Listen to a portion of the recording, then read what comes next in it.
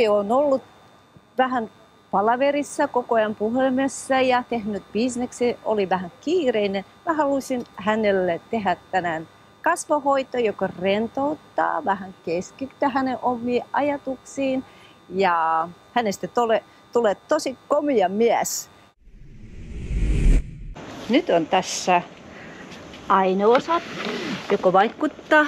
Mä teen kasvopuhdistuksen, sitten naamion 10 minuuttia ja sitten hierontaa ja hoitoaineet. Tämmöinen hoito, se tekee hyvä olo tuo ja nostaa testosteroni.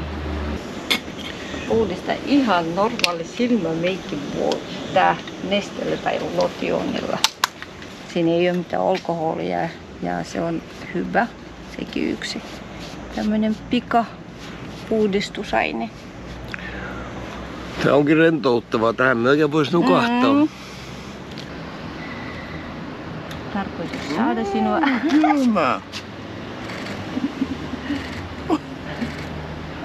Tämä on epämiellyttävää. Eikä. Nyt laitan kurkkuun sun siemi. Eiks nyt hyvää? Tuntuu hyvältä. Nää ku- Niin. Kurkku tuntuu hyvältä. Niin. Ja nyt tämä naamiokin rentouttaa. Nyt se alkaa Mhm. niinku tuntua, että se oikein rentou. Se on alku. Katsoisimme olla ulkona, jos sisätiloissa olisi eri asia. Tää on oikein relaksoiva musiikki. Mm. Oliko kivaa? Joo, tosi kivaa.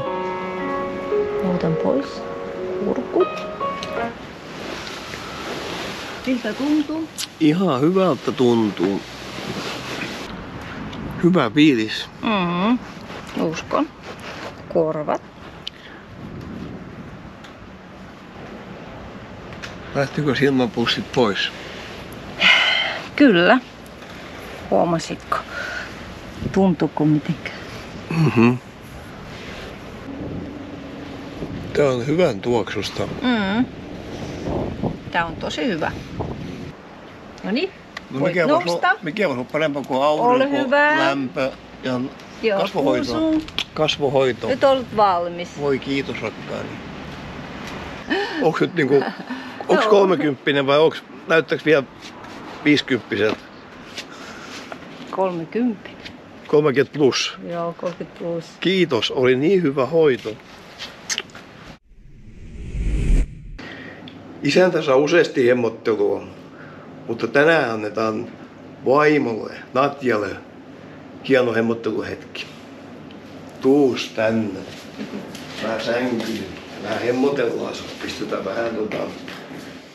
Nyt olisi tämmönen niinku hemmotteluhetki, että sä oot ihan rentoutuu ja nauttii siitä, että mä vähän koskettelen sua ihanasti ja tämmönen vyöhyköterapia, kun akupunktio, vyöhyköterapia, normaali hierontaa, niin nyt, nyt mä annan sulle tämmöisen vyöhyköterapia, eli jalkapohjan hierontaa. Mm-hmm. Otetaan tosta sitten jalka tohon. Aukasin ensin tätä, vähän tätä verenkiertoa tästä pohjetta. Lähinnähän tää on niinku tätä jalkapohjaa oikein hierotaan ja haetaan akupisteitä täältä. Ottako tuossa on, tässä on munuaiset, maksa. Tämä on se kaikkein olennaisin, mikä vaikuttaa kaikki sisäelimiin tämä kohta, tämä hyö. Mm. Sattuuko jo vähän? Ehkä vähän, jos hiukan. kovaa. Joo. Ei saa liian ylös mennä, tule liian paljon hormonit hyrräämään. Liika ei saa. Ei. Tässä pitää vaan ottaa tämä auki, tämä näin tästä. Joo, se tuntuu. Entä? Ei se ole se seksi se tärkeämpää, se on se, että saat kosketusta ja saat hyväksyntää ja koet semmoista niin kuin hyvää on tunnetta siitä, että sanotaan, että iho ei koskaan unohda kosketusta. Se on aika tärkeä osa. Pieni lapsikin saa jo heti, kun se syntyy tänne maailmaan, niin se ottaa äitin tissin suuhunsa ja se kokee sen turvallisuuden tunteen, niin me aikuiset ollaan ihan samanlaisia.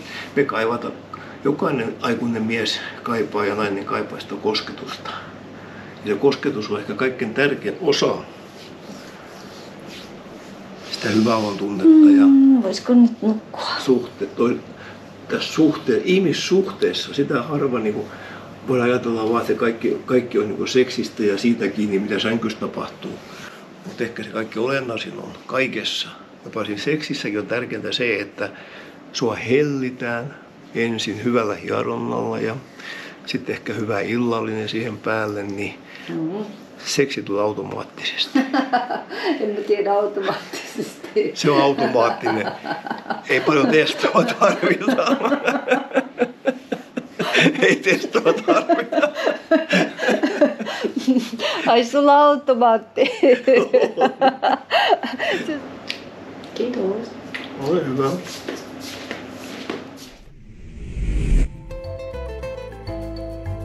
Ei mun nuoruuteni kuulu alkoholi. Se oli mielenkiintoista, että saada Toivo Sukkareilta tämmöinen treffikutsu. Eka sysäys lähti todellakin hänen kaunista apartalosta.